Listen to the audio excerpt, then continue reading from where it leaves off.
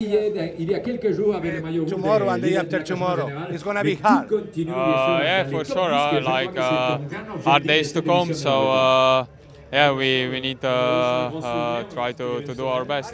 Uh, you are comfortable on the on the table right now with more seconds.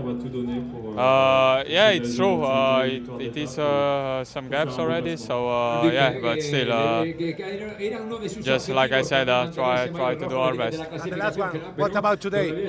Uh, today uh, normally should be a sprint. Uh, so uh, yeah, uh, try to, to stay uh, safe and in the front. compatible de la etapa del día de ayer.